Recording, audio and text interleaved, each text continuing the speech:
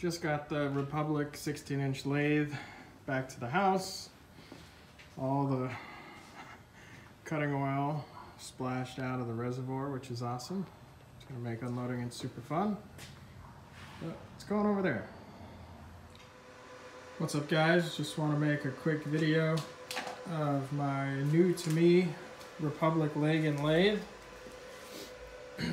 this model has a 16 inch swing and was originally manufactured in 1977 in Spain. Uh, I just got it set up uh, with this VFD. So I got the original three-phase motor running off of my house 220 volt power. So far, haven't really found any issues with that. Seems to be working out pretty good. Uh, I am able to run both the coolant pump as well as the motor off of the single VFD without issues. Uh, under normal operation it draws about 12 amps per leg uh, from my house power. But uh, next up is going to be changing all the oils in this machine. I'm waiting on the uh, manual to get here um, from Lagun so I can have all the proper viscosities and all that stuff. But for now, making some chips on our first piece. Still have to make a uh, chip guard for the wall here as well. The original one on the machine does not fit in the amount of space that I have. So let's check it out. Headstock is full. Now we're going to fill up the uh, quick change gearbox, the apron, and the uh, tailstock bearing over there. So, got in touch with uh, Republic Lagun and got my hands on an original manual for this machine, um, which turns out is from 1977. So I was able to source some new oil for both the spindle and the gearboxes.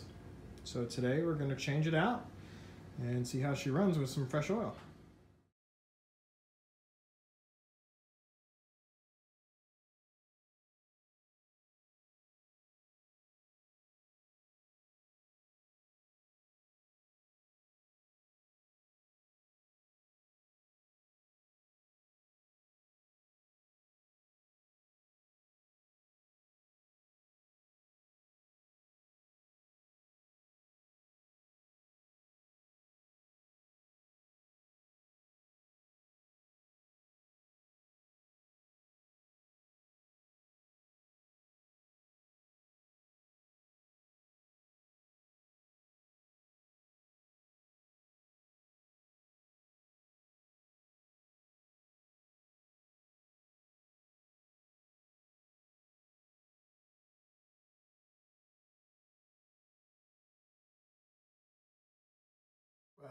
Now that the oil level has dropped and I got this uh, cover off, found a couple issues. Uh, one being this part of the casting uh, is busted off inside the gear head.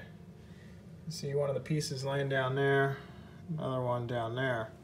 Uh, bearing still seems pretty tight in there, but probably not much I can do about that really. What's more troublesome get around here to where we can see it.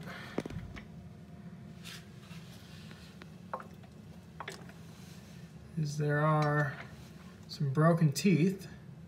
So there's a broken tooth there.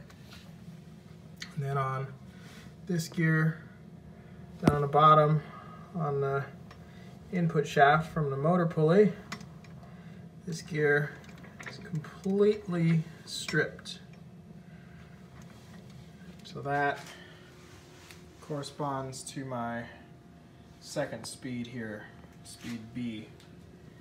So, well, we'll see if uh, they happen to have those gears. So we've got uh, pretty much about all the oil out that will drain out. I took out uh, as many of the little bits of metal that I could. Um, fished a magnet all around in there got pretty much most of it. So now we'll go ahead and we will fill it back up.